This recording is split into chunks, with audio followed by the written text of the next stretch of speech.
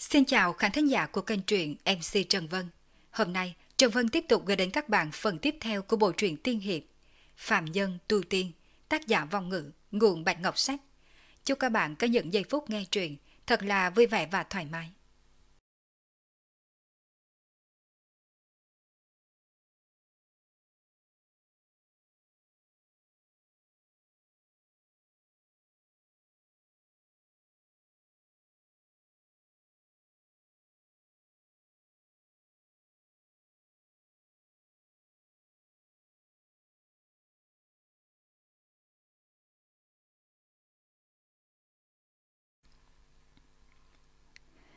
Chương 1559 Vật trong hộp. Gã đầu to hít sâu một hơi, Bàn tay vừa động, Lấy ra từ trong lòng ra ba cái hộp ngọc màu trắng. Trên mặt mỗi cái đều có dán mấy tấm bùa màu đỏ đậm, Ẩn hiện các phù văn trôi nổi không ngừng. Cái hộp này đối với thiên vân 13 tộc chúng ta cực kỳ trọng yếu. Bà vị đạo hữu nếu có thể đem vật này đưa đến vạn cổ tộc, thì tự nhiên là sẽ có chỗ tốt không thể tưởng được. Nhưng nếu chưa vị đạo hữu bị giác sĩ tộc đuổi theo, thì tốt nhất là trước khi bị bắt, lập tức đem mấy cái hộp này hủy đi. Nếu không, để nó rơi vào trong tay giác sĩ tộc, thì sẽ đưa đến nỗi khổ bị trừ hồn luyện phách. Gã đầu to nói tới đó thì cổ tay rung lên. Ba hộp ngọc lập tức nhằm hướng ba người hàng lập bay tới. Dị tộc có làn da xanh và hàng lập theo bản năng, tự nhiên đưa tay tiếp lấy. Quyền huynh, Rốt cuộc bên trong là vật gì? Sao lại phải cẩn thận như vậy? Dị tộc nhân trong hồng quang đưa mắt nhìn hồng ngọc trong tay, cái điểm chần chờ hỏi. Là cái gì thì tài hạ không thể nói rõ. Nhưng ta có thể cam đoan với các vị một việc. Bằng vào vật này, các vị có thể hướng tới các vị trưởng lão của chúng ta ở vàng cổ tộc, đổi lấy một kiện khôi lỗi cấp bậc thông linh, hoặc là một bảo vật cùng gia khác. Gã đầu to sau khi hít sâu một hơi, thì thần sắc ngưng trọng nói. Cái gì? Khôi lỗi cấp thông linh? Lời này vừa nói ra, dị tộc nhân có làn da xanh nhất thời thất thanh hồ lên. Chỉ có hàng lập, lần đầu nghe nói tới vật ấy, nên thần sắc tự nhiên không biến đổi. Còn dị tộc nhân trong hồng quang, ánh mắt cũng lập lòe không thôi. Quyền huynh không có nói đùa chứ. Vật này có thể đổi lấy loại bảo vật nghịch thiên ấy. Nói như vậy, nếu ta dùng vật này yêu cầu đổi lấy vạn diệu đan, thì chắc quý tộc cũng sẽ đồng ý. Lữ phu nhân có chút chần chờ hỏi. Vạn diệu đan so với thông linh khôi lội thì còn hiếm hơn nhiều, nên ta cũng không thể cam đoan là các vị trưởng lão chắc chắn sẽ cho ngươi, nhưng các bảy tám thành hy vọng. Gã đầu to sau khi chần chờ một chút thì cẩn thận trả lời. Nghe dị tộc nhân họ Nguyên trả lời như vậy, dị tộc nhân có làn da xanh ngược lại càng thêm tin tưởng vài phần.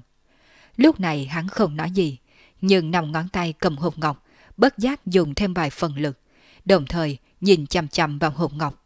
Con mắt quay tròn chuyển động vài cái. Mà lúc này, hạng lập đã sớm dùng thần niệm nhằm vào cái hộp ngọc dò xét.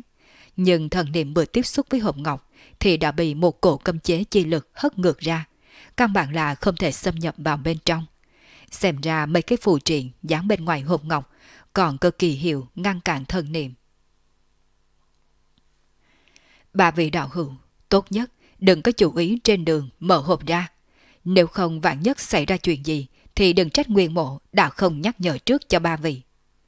Gã đầu to từ hôi nhìn ra suy nghĩ của những người khác nên lên tiếng nhắc nhở nói. Liệu trong hộp còn có thủ đoạn gì lợi hại khác chăng?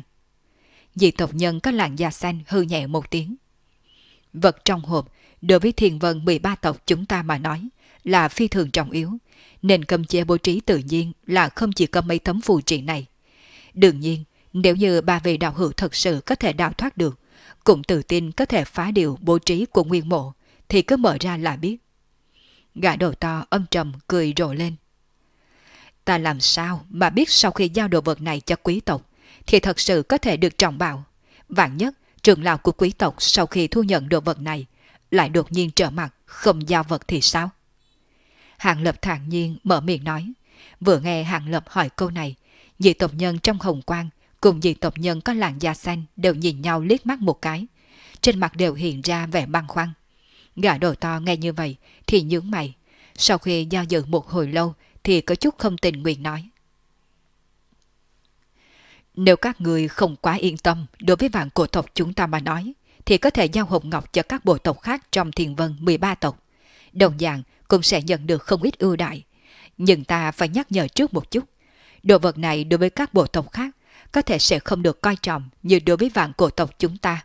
Nên chỗ tốt có thể sẽ ít hơn nhiều. Tối thiểu, vạn diệu đan gì đó tốt hơn hết là đừng có nghĩ tới.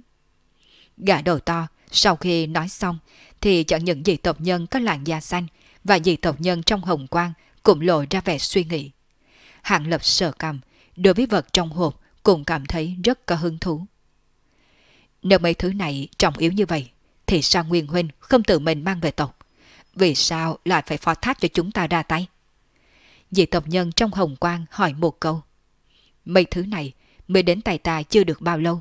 Hơn nữa sau khi có được vật này thì giác sĩ tộc lại đột nhiên phái ra một chi bộ đội về công lục quan thành. Phải biết rằng lục quan thành bất quá chỉ là một tòa thành nhỏ không có gì đáng chú ý. Theo lý thuyết, căn bản sẽ không bị nhanh chóng công kích như vậy. Cho nên tại hà hoài nghi, giác sĩ tộc đã nghe ngóng được phong thanh điều gì. Nếu ta đem đồ vật này ở trên người thì rất nguy hiểm. Gã đồ to thật sự cũng không có ý dấu giếm, trực tiếp đem mọi lo lắng trong lòng nói ra. Người nói, đại quân giác sĩ tộc cũng là vì vật trong cái hộp này mà đến ư. Dị tộc nhân có làn da xanh cũng không khỏi hít sâu một ngụm lương khí, biểu tình lộ ra có vẻ khó có thể tin, mà trong mắt hàng lập cũng hiện ra vẻ hoảng sợ. Cái này thì là tại hạ đoán như vậy thôi, cũng không nhất định là thật. Nguyên một sợ dĩ nhờ ba vị đạo hữu cũng là để đề phòng vàng nhất mà thôi. Gã đầu to thần sắc trầm xuống chậm rãi nói. Hảo, nếu Nguyễn Huynh đã nói như vậy thì tại hạ đồng ý tạm thời bảo quản vật này. Dị tộc nhân trong hồng quang tự hồ hạ quyết tâm. Trong tay bạch quang chợt lóe, hộp ngọc đã được thu vào. Mà dị tộc nhân có làn da màu xanh, sắc mặt âm tình bất định. Trong chốc lát, cũng đột nhiên ném hộp ngọc trong tay lên. Tiếp theo há miệng, phùng ra một đạo quang hà trong suốt, cuồng tới đem cái hộp ngọc trực tiếp nuốt vào trong bụng. Đảo mắt một cái, trong ba người, cũng chỉ còn hàng lập là vẫn đưa một tay nâng hộp ngọc, ánh mắt chấp động không chừng. Như thế nào? Hạng huynh còn có gì nghi ngờ chăng? Gã đồ to có chút ngoài ý muốn, quay đầu hỏi. Nguyện đạo hữu cũng không hỏi tài hạ xuất thân lai lịch như thế nào, mà đã đem vật ấy giao cho tài hạ. Không sợ nhờ vả không đúng người sao? Khỏe miệng hàng lập vừa động, liếc mắt nhìn hộp ngọc trong tay, rồi bỗng nhiên tự như cười như không hỏi một câu. Tại hạ tuy rằng còn chưa nhìn ra đạo hữu xuất thân từ tộc nào, nhưng cũng khẳng định không phải là người của giác sĩ tộc. Về phần thần thông của đạo hữu, thì chỉ cần nghĩ tới chém giết bao nhiêu hải thú ở hải ngoại, cũng tuyệt đối không quá yếu. Gã đầu to cười lớn nói. Nếu như đạo hữu tin tưởng như vậy, thì hạng mộ cũng sẽ nhận phó thác này. Hạng lập tâm niệm nhanh quay ngược trở lại, rồi vẫn gật gật đầu đáp ứng. Thoáng cái nâng hộp ngọc trong tay, hàng lập nhẹ nhàng thong dong thu vào trong túi trữ vật. Tuy hắn không biết cái thông linh khôi lội cùng vạn diệu đan kia ra sao, nhưng có thể làm cho vài tên tu sĩ cấp luyện hư coi như chỉ bảo, thì khẳng định là quý hiếm dị thường. Mà vật trong hộp ngọc có thể khiến cho cái gọi là thiên vân 13 tộc, nguyện ý trao đổi, thì giá trị hẳn là phải cao hơn mấy cái này mới đúng. Hơn nữa, lại có loại chuyện từ đem đồ vật tặng đến tay, thì hắn tự nhiên cũng sẽ không dễ dàng buông tay. Dù sao nghe đối phương lúc trước đã nói, trong số truy binh khả năng có tồn tại cấp hợp thể kỳ là không lớn, hẳn là đủ để ứng phó. Về phần có đem đồ vật này đi trao đổi hay không, thì tới lúc đó hẳn tính. Hạo, nếu như ba vị đạo hữu đã đáp ứng rồi, thì chúng ta lập tức tách ra mà đi thôi. Hiện tại truy binh đều đang đuổi theo giết những người khác. Đây đúng là cơ hội lặng lặng mà bỏ chạy. Nguyên mộ xin đi trước một bước đây. Nhìn thấy hàng lập cũng thu hồi hộp ngọc. Trên mặt gã đầu to lộ ra vẻ vui sướng nói. Tiếp theo hắn đảo mắt nhìn qua mọi nơi một vòng. Sau đó vùng tay ném ra một vật màu đen tuyền, trông giống như một cái thiết vụ. Lúc đầu vật này chỉ to cỡ một thước, nhưng sau khi được thúc giục, thì bỗng nhiên bành trướng dài ra tới ba bốn trường. Trên thân gã đầu to, hào quang chợt lóe, rồi hóa thành một đạo hư ảnh chui vào trong thiết vụ. Đúng rồi, theo ta được biết, vì ưng phó giác sĩ tộc, các trưởng lão thiên vân 13 tộc chúng ta sẽ đến tụ tập tại Vân Thành. Trong đó cũng có mấy đại trưởng lão trong vạn cổ tộc chúng ta, đích thân tòa trấn Tông Thành. Hy vọng mấy tháng sau, chúng ta sẽ có thể tái kiến ở đó. Gã đầu to trước khi đi, tự hồ lại nghĩ tới điều gì, nên sau khi chui vào trong thiết vụ còn nói vòng ra. Vân Thành, dị tộc nhân có làn da xanh, cùng tên dị tộc nhân trong hồng quang nghe như vậy, thì thần sắc vừa động, mà hạng Lập nghe xong thì trên mặt cũng lộ ra một tia cân nhắc. Vân Thành, cái tên này, hắn tự hồ đã nghe Thanh Tiểu đề cập qua, nhưng nhất thời cũng vô pháp nghĩ ra. Bất quá cũng không sao, trên người hắn còn có một bộ bản đồ khu vực phụ cận. Tuy rằng đã trải qua mấy nghìn năm, nhưng đối với những kẻ tu luyện như bọn họ mà nói, thì tự nhiên sẽ không có cái gì thay đổi quá lớn. Tiếp theo, chỉ thấy thiết vụ bỗng quay tròn, rồi hóa thành một đoạn hắc quang hình nón, chui vào trong lòng đất không thể bóng dáng. Nhị vị đã nhất trí, thì tài hạ cùng xin cáo từ. Dị tộc nhân da xanh giống như kiên kỳ truy binh của giác sĩ tộc, nên cơ hồ gã đầu to vừa mới rời đi cũng lập tức hướng tới hai người hàng lập ôm quyền cáo từ. Tiếp theo, thân hình hắn thoáng mơ hồ, trang phụ và da thịt đồng thời trở nên trong suốt. Một khắc công phu sau, cả người liền giống như tan biến trong không khí. Đây là độn thuật gì? Hạng lập lắp bắp kinh hại không tự chủ được, dùng làm mang trong đồng tử đào qua. Sau khi nhìn quét qua, khi mất khí lực thật lớn, hạng mới phát hiện ra tại một chỗ xa xa, ẩn hiện có một bóng người gần như vô hình đang chạy đi. Đây là bí thuật ẩn nặc đặc biệt của mặt lục tộc. Một khi thi triển ra, thì trừ phi có tu vi cao hơn hẳn, hoặc là một ít thần thông đặc thù ra, thì căn bản là không thể phát hiện. Nhưng điểm yếu duy nhất chính là khi thi triển thần thông này lại không thể phá không phi độn, mà tốc độ cũng chậm hơn nhiều. Thấy hàng lập ngóng nhìn ra xa xa, sau lưng chợt vang lên tiếng cười khẽ của dị tộc nhân trong hồng quang. Nga, ẩn nặc thuật này cũng có chút kỳ lạ. Hàng lập đem ánh mắt vừa thu lại, xoay người nói một câu. Tuy rằng không thể phi hành, nhưng cho dù là đi bộ, thì chỉ trong thoáng chốc, dị tộc nhân có làn da xanh đã tiến vào trong một rừng cây xanh phía xa xa, không thấy bóng dáng. Hàng huynh cùng tính toán rời đi sao? Bật quá trước khi rời đi, tại hạ có một cái đề nghị, đạo hữu có thể nghe không? Dị tộc nhân trong hồng quang, hai tay để sau lưng, nhìn Hàng Lập hỏi một câu. Đề nghị gì? Hàng Lập có chút ngoài ý muốn thản nhiên trả lời. Các hạ không phải xuất thân từ thiên vân 13 tộc. Một khi đã như vậy thì mạo hiểm làm gì? Không bằng đem vật nguyên huynh giao cho người, chuyển giao cho tài hạ đi. Dị tộc nhân trong hồng quang dĩ nhiên nhẹ nhàng bâng quơ nói một câu. Người muốn cái hộp ngọc kia. Trên mặt hàng lập hiện ra một tia kỳ quái, hai mắt hiếp lại, một chút có, một chút không, khẳng định hỏi ngược lại. Đúng vậy, tại hạ đích xác đối với vật trong hộp này cảm thấy rất hứng thú. Dù sao tại hạ đến lúc đó tặng một cái cũng là tặng, tặng hai cái cũng là tặng, không bằng để cho hoàng mộ đỡ vất vả. Thành âm của dị tộc nhân trong hồng quang bỗng nhiên trở nên trầm thấp dị thường. Chương 1560 Ảo thuật Tại Hà muốn nói một chữ không. Hàng Lập không chút sợ hãi, chậm rãi nói một câu. Đạo hữu là người từ hải ngoại trở về, nên hẳn là không biết tốt xấu như vậy. Bảo vật cho dù là tốt, nhưng nếu chết đi thì còn có tác dụng gì? Dị tộc nhân trong hồng quang cười hắc hắc nói. Có phải đạo hữu muốn ra tay đối phó với tài hạ? Nơi này khắp nơi đều là truy binh của giác sĩ tộc. Chẳng lẽ các hạ muốn cùng tài hạ trở thành tù nhân của giác sĩ tộc sao?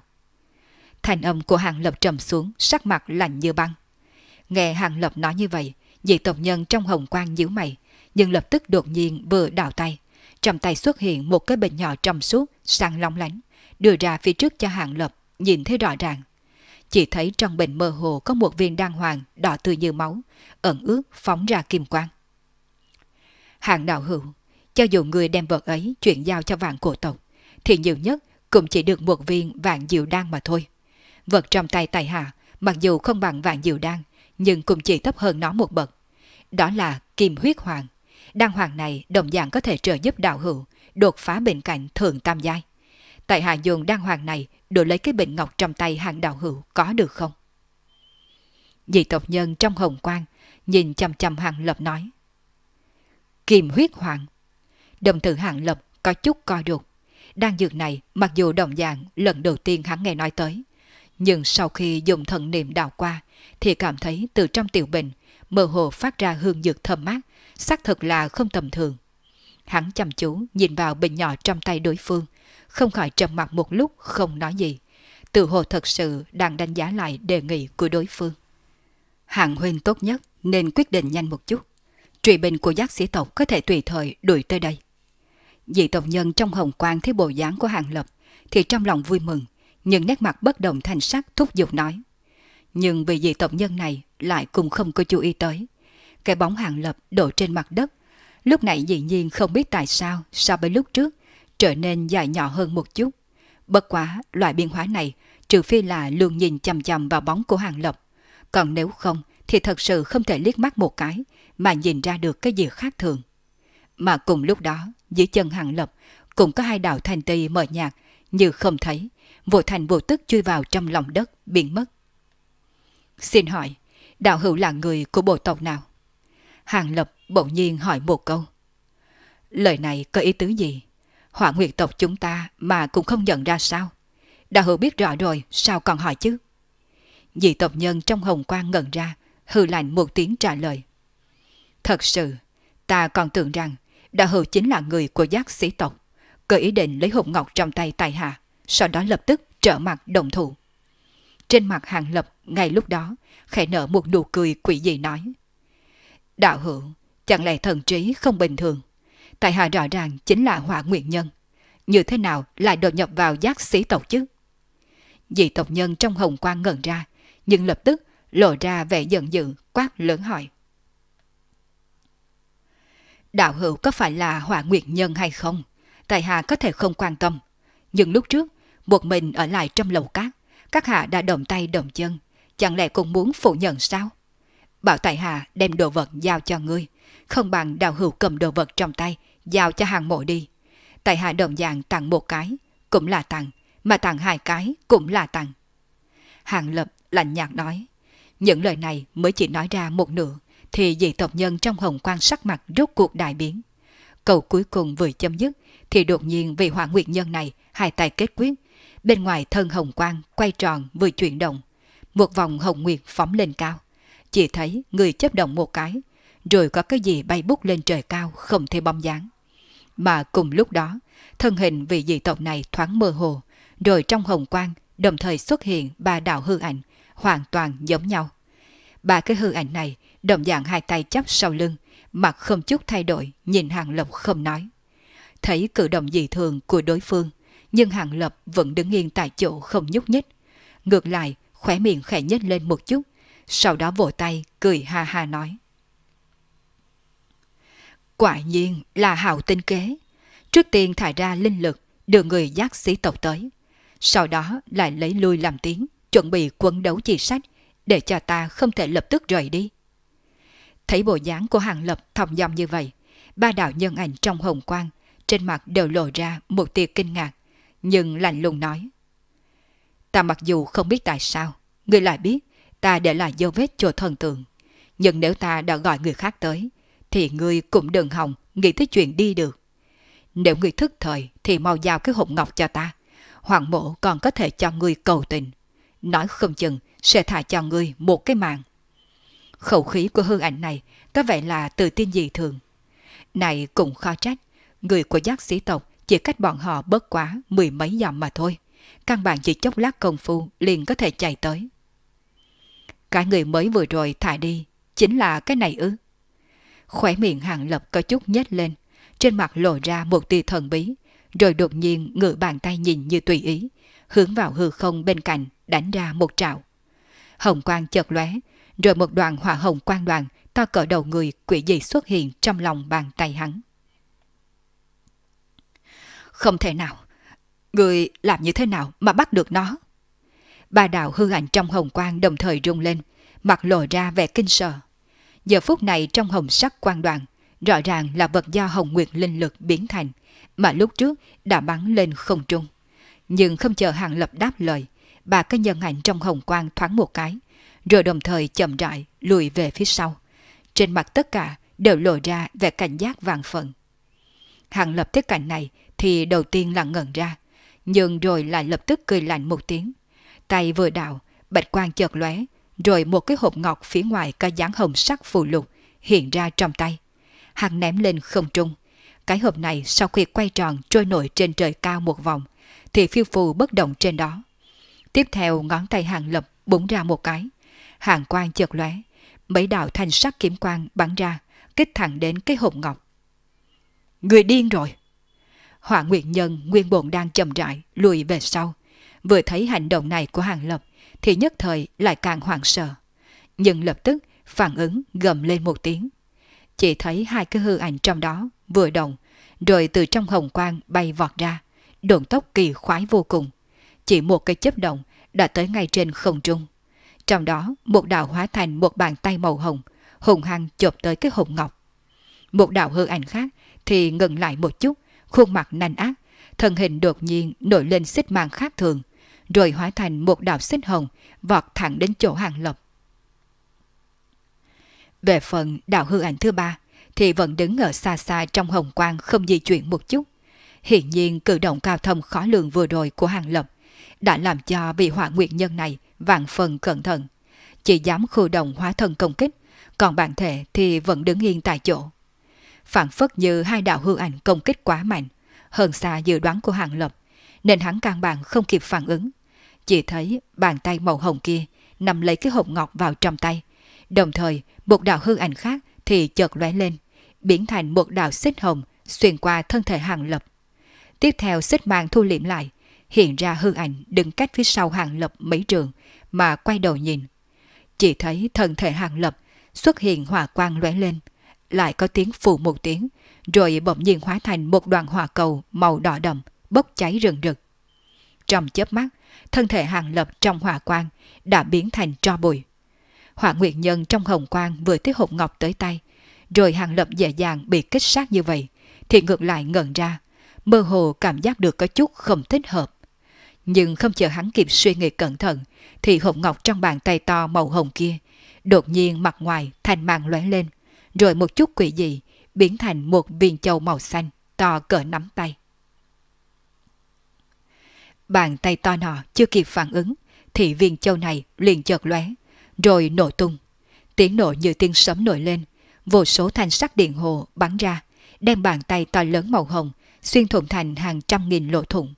Bàn tay to chợt lóe lên rồi tiêu tan mất. Vừa thấy cảnh này, hỏa nguyệt nhân trong hồng quang cả kinh, sắc mặt trắng bệch, há miệng phun ra một ngụm máu xanh. Ta tưởng là hóa thân huyền thuật huyền diệu gì, quyền lai, bất quá chính là phân hồn thuật. Nếu như vậy, mấy cái hóa thân này, tại hạ sẽ không khách khí mà thu nhận lấy. Đột nhiên thanh âm hàng lập từ bốn phương tam hướng ong ong truyền đến. Theo sau đạo hư ảnh thứ hai đang đứng trên mặt đất. Đột nhiên bị một đạo hắc tuyến lẻ lên cùng một cái kim sắc trường nhận từ phía dưới quỷ dị chém lên, động tác cực nhanh, giống như điện quang lôi thành một bực như nhau. Sau khi hét thả một tiếng, hư ảnh bị thế công xét đánh không kịp bừng tay, chém làm hai. Tàn thi thoáng một cái, ngã quỷ trên mặt đất, rồi lập tức hóa thành một tia linh quang tan đi. Lúc này mới thấy kim quang chợt lóe, một khối kim giáp khôi lội, tay cầm trường nhận từ phía dưới mặt đất, như quỷ mị chậm rãi chui lên. Lại một khối phần thân nữa trong nháy mắt bị diệt. Hỏa nguyệt nhân trong hồng quang, sắc mặt thêm trắng bệch. Tiếp theo, hai gò má lại đỏ ửng lên một cách khác thường. Xem ra nguyên khí thật sự bị tổn thất không nhỏ. Nhưng vì hỏa nguyệt nhân này cũng đủ quyết đoán, cơ hồ ngay lúc hóa thần thứ hai bị hủy đi, thì đột nhiên không nói hai lời, há miệng phun ra một cái chuông nhỏ màu xanh, rồi bung ngón tay bắn ra. Đang, một tiếng chuông đình tài nhức óc vang lên, một cổ vô hình âm ba lấy cái chuông đồng làm trung tâm, hướng ra bốn phương tam hướng mà khuếch tán đi. Tiếp theo, hỏa nguyệt nhân sắc mặt dự tợn chợt lóe qua. Hắn không tin trong tình hình này, đối phương có thể ngăn được hắn tìm đến chỗ người của giác sĩ tộc. Bất quá hắn cũng không có chút ý tứ nào tiếp tục ở lại chỗ này để liều mạng với hàng lập. Thân hình vừa động, cả người đã hóa thành một đạo hồng quang, hướng lên trời cao bay đi. Nhưng một tiếng hư lạnh từ hư không truyền ra, hồng quang mới bay được lên cao chừng năm sáu mươi trường, thì đột nhiên trên không thanh quang chợt lóe, một đóa hoa sen màu xanh quỷ dị hiện ra. Tiếp theo, một hóa hai, hai hóa bốn, bốn hóa tám, mà trên trời cao hình thành một đám thanh quang. Đám thanh liên này quay tròn một vòng, hình thể trong nháy mắt biến to hơn một trường, rồi một chút đem cả bầu trời che kín lại. Lần này, họa nguyệt nhân cả kinh, không phải là nhỏ, nhưng hắn không nói, hai tay dừng lên. Một thanh đoạn đao màu bạc cùng một cái lệnh bài ánh vàng rực rỡ, đồng thời kích bắn ra. Đoạn đao vừa bay ra, đã liền hóa thành một cái cử nhân bấy trường, hướng lên trời cao hung hăng chém đi. Kiểm soát lệnh bài thì sau khi lên tiếng, đột nhiên từ trong lệnh bài bay ra một nhân ảnh, cả người kim quang loè loè. Trên lưng có hư ảnh hai cánh dương nành mua vút đánh tới. ầm ầm sau hai tiếng nổ, ngân quang cùng kim ảnh cơ hồ đồng thời đánh tới trên thanh sắc cử liên. Song phương vừa tiếp xúc, thành sắc cử liên bắt đầu rung động, nhưng một lát sau liền tất tất vỡ vụn ra. Theo sát sau đó, hỏa nguyệt nhân thấy cảnh này thì trong lòng mừng rỡ, nhưng sau một khắc thì vẻ tươi cười trên mặt lập tức liền động lại. Chỉ thấy thành liên vừa tán đi, thì thanh quang loè loè, rồi bất ngờ lại có một đóa cử liên khác chắn trước mặt. Chương 1561 Đại địch Hỏa Nguyệt nhìn thấy cảnh này thì biến sắc. Lúc này một bên cấp bách lấy hai kiện bảo vật điên cuồng tấn công. Một bên thì thầm trong miệng, tự hồ muốn thi triển ra thần thông lợi hại. Nhưng đúng lúc này, thành âm hàng lập thản nhiên truyền tới. Các hạ, nếu như đã rơi vào trong kiếm trận của ta đây, thì không cần phải nói nhiều. Hay là để hàng bộ tiện ngươi một đoạn đường. Vừa dứt lời, đột nhiên liên hoa đối diện chợt tiêu tán, hóa thành vô số thanh sắc quan thải đầy trời. Một ngân sắc cử nhận cùng kim sắc giao ảnh hiện ra, thoáng lên một cái rồi biến mất, ngay cả một tia gần sóng cũng không có. Trong lòng Hòa Nguyệt trầm xuống, thân hình không khỏi dừng lại. Mà đúng lúc này, thành sắc quan thải trước mặt, đột nhiên đại phóng. Tiếp theo, phản phất như lũ lụt kéo tới. Hỏa Nguyệt đã sợ, lại càng hoảng hơn. Nguyên bản pháp quyết đọc xong, chuẩn bị xuất ra lại do dự. Chỉ thấy hồng quang trên người hắn xoay tròn. Vô số hồng sắc quang nhận, quỷ dị hiện ra. Dưới sự thúc giục, liền tự động bay quanh bốn phía, phát ra tiếng suy suy. Trong chớp mắt, từng đạo cuồng vụ sắc bén hình thành cơn lốc, đem hắn bảo vệ vào bên trong. Thế cảnh này, trong lòng hòa nguyệt buông lỏng. Tiếp theo thành sắc quang mạc tràn đến, giống như nước biển trôi qua. Nhưng khi hắn ngưng thần nhìn kỹ lại, thì trong lòng liền giật mình. Chỉ thấy sau khi thanh quang hiện ra, cảnh sắc buông phía đột nhiên trở nên mơ hồ. Thành hình hắn hiện ra giữa một thảo nguyên đầy cỏ xanh. Chung quanh đều là cỏ xanh cao không quá một tấc, xen lẫn là rất nhiều hoa dài màu sắc khác nhau. Xa xa lại mơ hồ truyền đến tiếng chim hót, khung cảnh tuyệt đẹp. Thế nhưng làm cho người ta không khỏi cảm thấy thư thái, toàn thân thả lỏng rất nhiều. Ảo thuật Hỏa Nguyệt không phải là kẻ đơn giản, vẻ mê ly trong mắt chợt lóe liền lập tức tỉnh lại. Hắn vội vàng nhìn lên trời cao. Chỉ thấy bầu trời cao vô cùng, ngoài trừ vài đám mây trắng thì thả nguyên rộng mênh mông không thấy điểm cuối. Mà Hỏa Nguyệt cũng cảm thấy mặt đất dưới chân mềm mại dị thường, đồng thời trong mũi tràn đầy mùi hoa cỏ. Không chút nào nhìn ra có điểm sơ hở. Cả người phản phất như đang thực sự trên một đại thảo nguyên mênh mông. Sắc mặt hỏa nguyệt trầm trọng, miệng quát lên một tiếng phá. Đột nhiên cắn đầu lưỡi, đồng thời hai tay phất ra. Chỉ thấy hầm sắc quan nhận trong cơn lốc rung động một trận. Tiếp theo giống như mưa bắn ra bốn phương tám hướng. Từng đạo bạch ngân hiện giữa không trung. Hồng nhận này sắc bén dị thường, phản phất như muốn trực tiếp phá vỡ hư không. Huyết nhận điên cuồng chém ra bốn phía. Đột nhiên một màn sáng mờ hiện ra. Tiếp theo cảnh sát trở nên mơ hồ. Thảo Nguyên và bầu trời kia đều biến mất. Thấy cảnh này, Hỏa Nguyệt mừng rỡ. Ảo thuật này không ngờ lại dễ dàng phá đến như vậy. Thật sự là có chút ngoài ý muốn, Nhưng hắn chỉ vừa tươi cười, thì cảnh sát bốn phía lại vàng vèo. Tiếp theo ngoài ý muốn, bộc phát ra một mảnh lục quang cho mắt. Hắn không khỏi hiếp mắt lại, nhưng lập tức hồng quang ngoài thân chợt lóe. Buồn phía thân thể, lần nữa hiện ra vô số quan nhận, bảo vệ lấy hắn. Bất quá, khi anh sang trước mặt sau khi ngưng tụ xong, thì sắc mặt hắn lần nữa trở nên cực kỳ khó coi. Chỉ thấy cảnh sắc bốn phía sau khi thay đổi, phù cận hiện ra đại thụ cao chọc trời, thân to hơn 10 trường, cành lá cực kỳ rậm rạp, cơ hồ che cả bầu trời. Hắn hiện tại có vẻ như đang đứng trong rừng sâu. Hắn hiện nhiên hiểu rõ mình vẫn chưa thoát khỏi ảo thuật, một lần nữa lại rơi vào trong đó. Tình hình này hiển nhiên khiến cho hòa Nguyệt vừa sợ vừa giận. Nhưng lúc này, hắn chưa kịp xuất ra thần thông gì thì đất rung núi chuyển. Tiếp theo đại thủ buôn phí bật gốc, hướng về chỗ hắn đánh tới. Hỏa Nguyệt cả kinh, không kịp suy nghĩ nhiều. Quan nhận sắc bén, liền lập tức hướng về phía không trung chém tới. Trong nháy mắt, đại thù chưa kịp đến gần Hỏa Nguyệt thì đã bị hồng mang chém thành vô số mảnh. Hỏa Nguyệt trong lòng buông lỏng, đang định thúc giục quan nhận tiếp tục đánh về bốn phía, phá vỡ ảo thuật, thì đột nhiên tiếng phanh phanh trầm buồn truyền tới. Một bóng đen trên không trung, dĩ nhiên cứng rắn vô cùng, không bị quan nhận chém đứt. Hồng quang trên quan nhận vừa chém tới, liền tiêu tán. Mà bóng đen này, sau khi thoáng lên một cái, liền biến ảo to lên gấp mấy lần. Rõ ràng là một ngọn núi màu đen to hơn trăm trường. Hỏa Nguyệt kinh hại, mở miệng phun ra một đoàn hồng vụ, bên trong mơ hồ có vật gì. Nhưng hồng vụ khi tiếp xúc với Tiểu Sơn thì hồng quang chợt lóe, liền hiện ra là một bảo vật như tâm ván gỗ màu hồng. Mặt ngoài có vô số phù văn chớp động, ngay cả khi uy lực tấm ván gỗ này không nhỏ, nhưng như thế nào có thể so sánh được với uy lực của nguyên tử thần Sơn. Hắc sắc tiểu sơn chỉ một lát đã đè cho hồng quang trên tấm ván phải tiêu tán. Sau đó không ngừng dừng lại, chợt lóe lên trên ngay đầu của dị tộc nhân. Không tốt.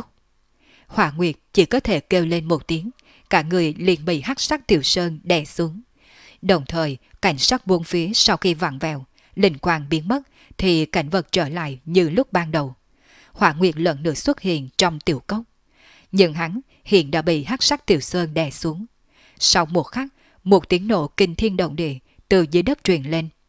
Hắc sắc tiểu sơn đã đè lên mặt đất, tạo thành hố to vài trường, mà Hỏa Nguyệt thì bị đè bên dưới, đã hóa thành một đống thịt vụn. Mặc dù hắn và Hàng Lập cùng là tồn tại luyện hư kỳ, nhưng thân thể lại yếu đến không ngờ. Đáng thương cho Hỏa Nguyệt, thân là tồn tại luyện hư kỳ, tất cả thần thông hiển nhiên chưa biểu hiện ra hết. Đáng tiếc, hắn ngay từ đầu, bởi vì thi triển hóa thần bí thuật, bị Hàng Lập dùng lôi châu cùng giáp nguyên, biến thành khôi lội tập kích, làm cho nguyên khí đại thương. Sau đó, hắn lại hạm nhập vào trong huyền thuật trong xuân lê kiếm trận của Hàng Lập, bị nguyên tử thần sơn thật giả khó phân biệt, một kích đánh lén, liền dễ dàng phá hủy thân thể. Bất quá, giờ phút này hồng quang phía dưới hắc sắc tiểu sơn chợt lóe. Một viên châu nhỏ cỡ quả trứng gà chợt lóe lên, rồi chui vào lòng đất, không thể bóng dáng. Đột nhiên, từ đáy hắc sắc tiểu sơn chợt phát ra ánh sáng mờ. Tiếp theo hồi quang bắn ra, trong nháy mắt đem hồng sắc viên châu bao phủ vào, làm nó không thể nào nhúc nhích một chút. Tiếp theo hồi quang chợt lóe, viên châu bị ném mạnh trên mặt đất, đồng thời thanh quang trên đỉnh tiểu sơn chợt lóe. Một đạo nhân ảnh quỷ dị hiện ra, tay nhẹ nhàng vẫy về phía viên châu. Vù một tiếng, một cổ cự lực trong nháy mắt đem viên châu bay vào trong bàn tay. Nhân ảnh này đúng là hàng lập. Hắn cúi đầu nhìn vật trong tay, chỉ thấy viên châu này lập lòe màu hồng, bên trong trầm suốt sáng long lanh. Một tiểu nhân đang ẩn bên trong. Xem diện mục thì giống như Đức Hòa Nguyệt, chỉ là trên trán xuất hiện một tiểu thương mờ nhạt. Người quả nhiên có liên quan với giác sĩ tộc. Tại hạ rất hiếu kỳ, không biết đạo hữu rốt cuộc là giác sĩ tộc nhân hay là hỏa nguyệt tộc nhân. Hạng lập tùy ý kẹp viên châu vào giữa hai ngón tay, trên mặt lộ ra tia cười này. Tiểu nhân trong viên châu, thế nhân lại nhắm nghiền mắt không trả lời. Người nếu mua đồ đoạt ngọc hạt trong tay hạng mộ, hẳn là biết một số thứ liên quan. Người nếu như thức thời nói cho ta biết tin tức ta muốn nghe, thì không chừng ta có thể... Người còn có thể thả nguyên thần ta tự do sao? Chưa chờ Hàng Lập nói xong, tiểu nhân trong biên châu đột nhiên mở mắt, mặt không chút biểu tình nói. Không thể nào, chỉ có thể tránh cho việc người thống khổ sau khi sư hồn luyện phách mà thôi. Hàng Lập nhướng mày, lạnh lùng trả lời. Nếu như vậy thì ta không có gì để nói. Người nếu muốn dùng sư hồn thuật với ta thì tốt nhất đừng lãng phí lực mà làm gì. Trong thần thức của ta đã sớm bị tồn tại cấp cao trong thánh tộc hạ cấm chế. Cho dù là thánh tộc trên cấp 3 thì pháp sư hồn thì ta nhiều lắm tự bào thần niệm mà thôi. Trên mặt tiểu nhân đột nhiên lộ ra một tia cười. Hạng đập nghe câu trả lời này thì nhướng mày, lập tức hai mắt nhìn về tiểu nhân trong viên châu, hai ngón tay kẹp chặt. Chỉ thấy tiếng lời mình phát ra, kim sắc điện hồ chớp động, viên châu trong nháy mắt vỡ tan, tiểu nhân bên trong cũng bị tiêu diệt. Hàng lập mặc dù không biết lời đối phương là thật hay giả, nhưng hắn cũng không ký định lãng phí thời gian tại đây. Vì phòng ngừa thần niệm đối phương có tiêu ký cảm ứng gì, cho nên hắn cũng không thể để nguyên thần đối phương còn sống rời khỏi nơi đây. Cho nên khi thấy không thể biết được điều muốn biết, hắn liền không chút do dự hạ độc thủ. Hắn không biết, ngay lúc nguyên thần hòa nguyệt nhân bị tiêu diệt, tại một chỗ phiêu đạn trên lục quan thành, trong một tòa ngân sắc đại điện, có người đột nhiên hồ lên kinh ngạc. Gì? Đỗ huynh, chuyện gì đã xảy ra? Tên còn lại có chút tò mò hỏi một câu. Cầm chế mà ta lưu trong thần niệm hoàng ngân đã biến mất. Có vẻ hắn đã chết rồi. Một lão già mặt ngân bào ngồi trên ghế màu trắng sữa cau mày nói. Trên đầu hắn có một chiếc sừng màu đỏ đậm, tay hư không một trào. Một thành sắc một bài liền hiện ra. Trong một bài có một viên tinh thạch màu hồng, bộ dáng như đã vỡ vụn thành từng mảnh. Như thế nào vậy? Hắn bị vây công sao? Một gã khác hỏi, đồng dạng cũng mặc ngân bào, nhưng chỉ là một trung niên nhân hơn 40, có chút nghi hoặc hỏi. Cũng có thể là như vậy. Dù sao tu vi hồng diệt cũng không kém. Mà lần trước, hắn truyền tin, lục quan thành này không hề có tồn tại thánh tộc tam giai. Nếu không phải bị vây công, thì hắn không thể nào dễ dàng chết được. Hoặc có thể có tồn tại cấp cao của thánh tộc lẻn vào thành. Nếu như có loại tồn tại này, thì ngay cả người giám thị cũng không thể nào phát hiện ra. Lão già vuốt chòm râu, gật đầu nói. Nếu nói như vậy, vì để ngừa vạn nhất thì chúng ta nên đích thân đi một chuyến. Chỉ là không rõ lần này đồng thủ là muốn lấy vật gì. Dĩ nhiên lại phiền đến chúng ta ra tay với đám người thánh tộc. Trung niên nhân khẽ thở dài, có chút không cho là đúng. Chương 1562 Thiên huyền là bang Cho dù có bước vào nửa bước, nhưng cũng không phải thật sự là thánh tộc. Từ vì hai người chúng ta tương đương với thánh tộc nhất giai. Nhưng khi tiến giai thì phải mượn sức 10 vị trưởng lão dùng bí thuật thay phiên quán thể, mới may mắn đột phá chướng ngại.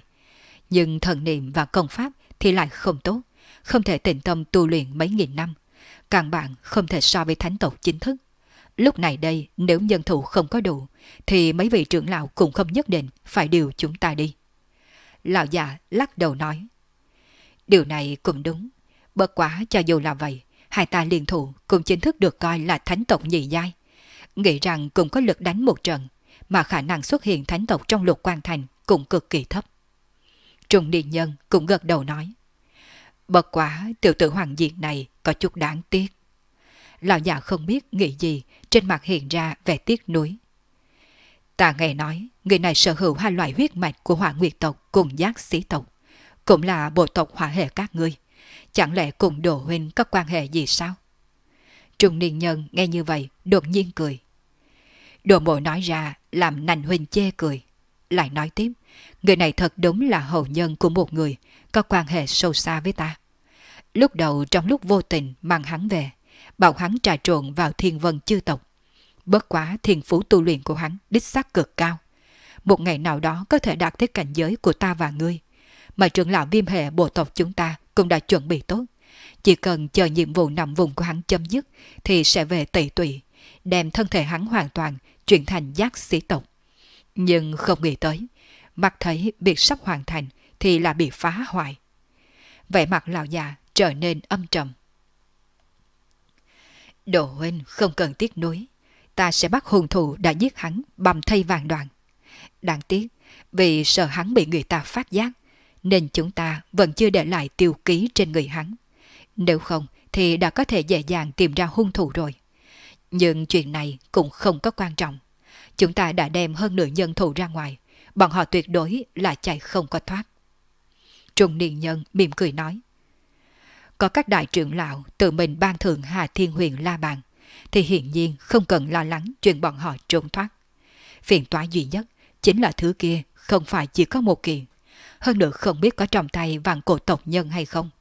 Chúng ta cũng không nên bức bọn họ vào tình thế cấp bách, phá hủy mấy thứ này.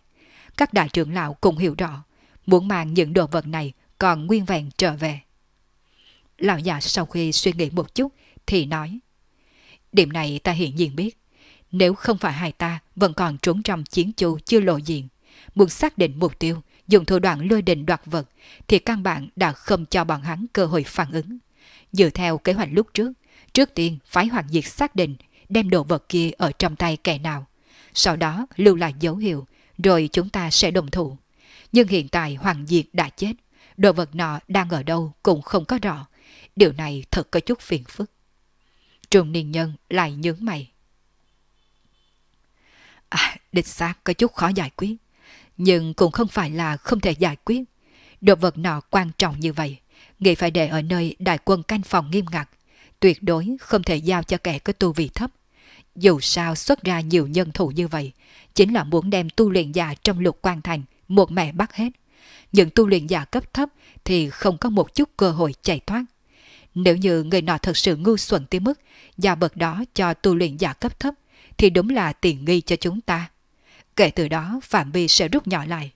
Ta phòng chừng vật đó sẽ ở trong tay thường tộc cấp cao. Đương nhiên nếu thật sự có thánh tộc thì đồ vật đó khẳng định là ở trong tay thánh tộc. Lão già chậm rãi phân tích. Lời này cũng là đúng. Nếu là trong phạm vi này thì mục tiêu thật sự giảm đi rất nhiều. Thường tộc trung giai thì giao cho vụ giao đối phó là được. Chỉ là mấy tên thường tộc tam giai thì chúng ta phải tự thân xuất mã, phối hợp với người khác. Trùng Điền Nhân cũng gật đầu đồng ý. Sáu gã dẫn đầu, lưu lại hai người ở trên chiến thuyền, còn tất cả các người khác đều phái ra. Dựa theo thời gian thì dị tộc cấp thấp hẳn là đã xử xử lý xong rồi. Không có những tên cấp thấp đó quấy nhiều, có thể sử dụng thiên huyền la bàn mà các trưởng lão bàn cho. Tồn tại cấp cao thì hẳn là có thể xác định dễ dàng vị trí. Lão già thì thào nói. Trung niên nhân nghe như vậy thì không có tiếp lời, nhưng ánh mắt lại chớp động, lộ ra vẻ như đang nghĩ tới điều gì. Lúc này, tại phù cận lục quang thành, cử ung cùng ngân sắc giáp sĩ trên đồng mộc, trải qua một phen tìm kiếm. Cuối cùng cũng tìm ra tu luyện giả dị tộc. Khoảng 18 tên đều bị giết hoặc bị bắt làm tù binh. Chỉ có một số ít ẩn nặc cao minh ở gần đó, hy vọng là có thể thoát được một mạng. Mặt khác, mấy tên cấp cao thì dựa vào pháp lực cao thâm đã sớm trốn không thấy bóng dáng. Nhưng Kim Giao lại đuổi theo đằng sau. Về phần có thể đuổi theo hay không thì chỉ có trời mới biết. Bất quá xem ra, giáp sĩ cùng song đầu ưng vẫn chỉ tìm kiếm ở gần đó, không có chút ý tứ trợ giúp linh thú này. Có lẽ biết vụ giao kia rất đáng sợ. Mà song đầu ưng cùng giáp sĩ cứ khoảng một tấc đất lại tìm kiếm thật kỳ càng. Đỉnh núi phụ cận hoặc là trong rừng sâu, thỉnh thoảng có một hai đạo đồn quang từ chỗ bí ẩn bỗng nhiên bay ra. Tiếp theo là đàn lớn song đầu ưng hoặc vài chiếc động mộc lập tức bay lên, phát ra các loại công kích, đem đồn quang tiêu diệt không còn bóng dáng. Mà giờ phút này, Hàng Lập đã cách lục quan thành 7-80 dặm. Trước đó hắn đại chiến với giàn tế của Hoàng Nguyệt Nhân, nhìn như kịch liệt, chấn động thật lớn. Nhưng trên thực tế lại nằm trong sự trói buộc của Xuân Lê Kiếm Trần. Một chút linh khí ba động cũng không có phát ra ngoài. Thậm chí, ngay cả Hoàng Nguyệt Nhân cuối cùng phát ra cổ âm ba kinh người, nhưng cũng bị uy năng huyền diệu của Xuân Lê Kiếm Trần dễ dàng hấp thu. Cho nên, mặc dù hai người một phen tranh đấu, gần phù cận lục quan thành, nhưng giác sĩ tộc nhân từ đầu tới cuối lại không hề phát hiện ra. Sau khi Hàng Lập phá hủy nguyên thần Hỏa Nguyệt Nhân, lập tức từ trên người hắn tìm được một khối ngọc hàm cùng kim huyết hoàng. Sau đó dùng hỏa diệm biến thi thể kia thành tro bụi. Tiếp theo, hắn thu bảo vật cùng kiếm trận, dùng hóa thành phù lặng lẽ rời đi. Lấy uy lực của chân linh phù như hóa thành phù, ngay cả là tồn tại cùng cấp với hạng lập cũng rất khó phát hiện. Cho nên truy bình giác sĩ tộc hiện nhiên lại càng không thể nào phát hiện ra. Kết quả, hàng lập cứ như vậy, ngành ngang bay qua từ trên đỉnh đầu sông ưng và thuyền độc mộc. Việc này truy binh giác sĩ tộc hiện nhiên không hề phát hiện ra. Về phần đại đầu cùng lục phu nhân, khi hàng lập trì hoãn một chút thì không biết đã phi đồn tới nơi nào. Bất quả, nếu cần ẩn nặc thân hình, đường tốc của bọn họ hiện nhiên không thể quá nhanh. Hơn phân nửa là đang còn trong phạm vi mấy trăm dặm. hạng lập trong lòng tự định giá, nhưng lại không chút dừng lại. Một bên lưu tâm đồng tình phụ cận, một bên hướng về phía có ít truy bình nhất mà bay đi. Chỉ một lát sau, Hạng Lập đã rời xa lục quan thành mấy trăm dặm. Trong tầm mắt đã không còn thấy bất cứ bóng dáng của kẻ địch nào. Hắn thở phào một hơi, nhưng vẫn không thu hồi hóa thành phù. Ai biết được, giác sĩ tộc có hay không am hiểu bí thuật đặc thù, hoặc là nắm giữ bảo vật quỷ gì, có thể đem phạm vi dò xét phóng đại ra mấy nghìn dặm. Hạng Lập không biết rõ, nhưng cẩn thận thì vẫn hơn. Ngay lúc hắn mắt thấy càng lúc càng rời xa lục quan thành, thì trên khoảng không ngân sắc cử đạo, đang có sáu đạo hắc ảnh phiêu phù. Trong đó có hai người, rõ ràng là lão già và trung niên nhân nói chuyện trong đại điện lúc trước. Bốn người còn lại cao thấp, mập ốm khác nhau, dường như thân phận cũng khác nhau. Mà giờ phút này, trung tâm sáu người là một bảo vật giống như la bàn đang chậm rãi chuyển động. Chính giữa bảo vật này là một mũi tên dài một tấc, chớp động liên tục. Trên mặt la bàn có khắc một số hoa văn cổ quái, đồng thời có kim sắc phù văn hiện ra, phiêu vụ bất định. Dưới cái nhìn không chớp mắt của sáu người, bỗng nhiên mũi tên chuyển động mấy vòng, sau đó đột nhiên đứng lên. Đầu mũi tên sau khi dừng lại thì chỉ về một hướng nào đó, ngoài ra còn có quang mang thiểm thước. Được rồi, tồn tại cường đại thứ tư đã xuất hiện. Bốn người các ngươi chia ra làm hai mà hành động, tìm kiếm ở phụ cận gần tòa đồ này. Còn hai người kia thì cứ giao cho hai chúng ta là được. Xem phản ứng mạnh liệt như thế thì có lẽ là tồn tại thường tộc tam giai. Bất quá sau khi các người tìm được người thì trước tiên khoan ra tay. Chờ sau khi chúng ta giải quyết được hai tên thì lập tức sẽ cùng các người hồi hợp. Nhớ cho kỹ, nếu như bọn hắn có ý định hủy diệt vật đó thì nhất định phải ngăn ngay. Bốn người các ngươi mang theo hai vụ dao để đề phòng vạn nhất có gì bất trắc.